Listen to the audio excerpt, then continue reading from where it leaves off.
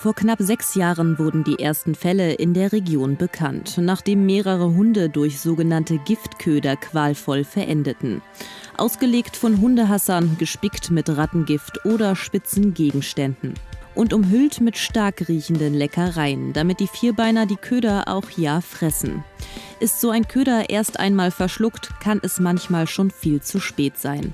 Einige Tiere konnten noch in Notoperationen gerettet werden.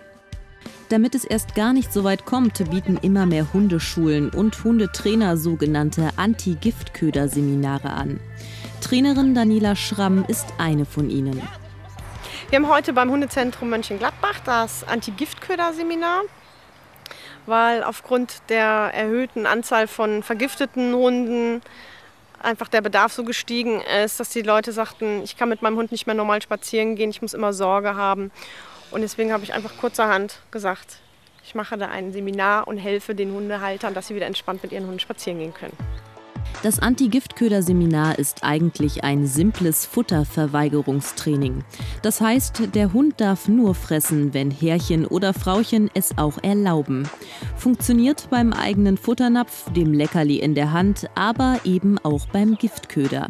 Mit Verboten wird hier aber nicht gearbeitet. Sie ähm, entwickeln dann einfach Strategien, dass sie ja, dann Heimliches machen oder einfach sagen, mir ist es so wichtig, da drankommen zu können, dass die Strafe einfach nicht groß genug sein kann.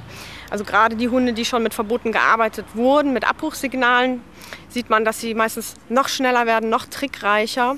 Und da ist es sogar noch schwieriger, jetzt wieder den Hund in eine Kooperation reinzuholen, dass wir eben sagen können, zeig es mir doch an, friss es nicht sofort, damit wir auch diesen Luxus dem Hund gönnen können, frei laufen zu können. Ansonsten müssten wir den immer an, kurz alleine bei uns halten und das ist natürlich schade. Das ist keine Lebensqualität für den Hund. Besonders in diesem Kurs, hier wird den Vierbeinern nicht nur beigebracht, das Futter nicht einfach zu fressen, sondern im nächsten Schritt auch anzuzeigen, wenn sie etwas Fressbares finden. Die Kursteilnehmer sind schon nach der Hälfte des knapp zweistündigen Seminars überzeugt.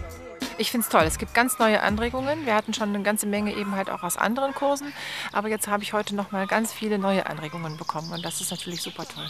Wir haben einige Sachen auch schon vortrainiert. Aber ich finde es hochinteressant, dass jetzt eben wirklich noch mal viele äh, Übungen hinzukommen, die man äh, dann eben zu Hause auch weiter verfolgen kann und mit denen man dann eben wirklich auch das, das äh, theoretisch Erlernte dann in der Praxis nochmal richtig vertiefen kann. In einer anderen Hundeschule ähm, einen Fall gehabt, dass äh, ein Giftköder sogar über den Gartenzaun geworfen ist und äh, geworfen wurde und der äh, Westi dann daran gestorben ist. Wie schnell die Hunde Fortschritte machen, ist sehr unterschiedlich. Einige geben schneller nach und andere sind eben besonders hartnäckig. Wie dieser hier. Lässt der Hund von der Beute ab, muss direkt gelobt werden. Wer trotz allem immer noch Angst hat, sein Tier frei herumlaufen zu lassen, dem empfiehlt Daniela Schramm einen Soft-Maulkorb aus besonders weichem Material für die Spaziergänge.